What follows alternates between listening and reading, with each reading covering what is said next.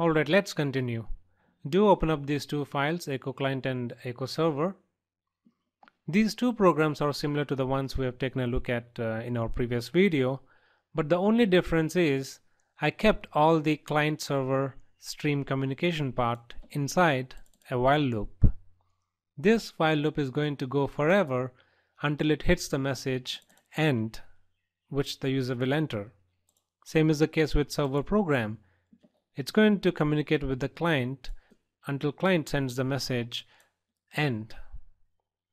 Let's see how it works. Let's run the server program first.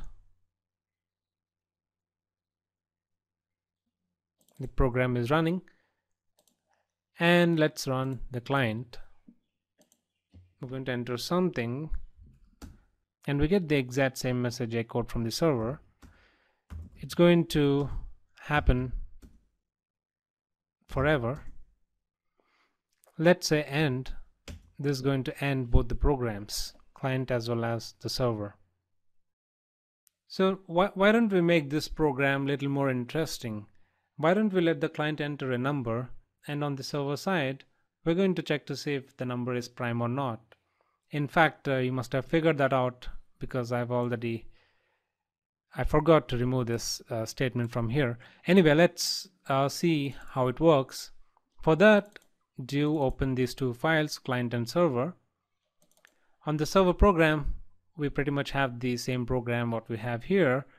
Apart from that, I introduced a new class file, server app, that's just simply going to have a method called serve, and it has all the instructions to communicate with the client.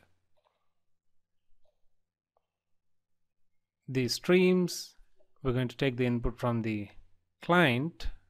Uh, this is going to be the client message, which will check to see if it's prime or not. We have a special method introduced for that purpose.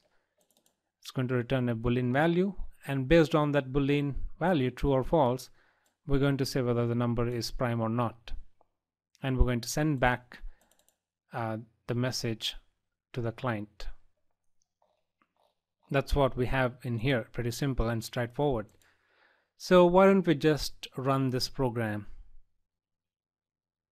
Let's run it. Server is started. And from the client end let's run it. I'm going to enter some value say 5 is prime 4 is not prime and I'm going to end the conversation. This will end the client program but not the server program because we have a while loop that goes forever so we need to explicitly stop it uh, like so so well and good but why don't we experiment something here instead of letting the server talk to just one client what if there were more than one client? Is our program designed to handle that? Let's see. Let's run our uh, server program once again. But this time, I'm going to run our client program from Windows Command Processor.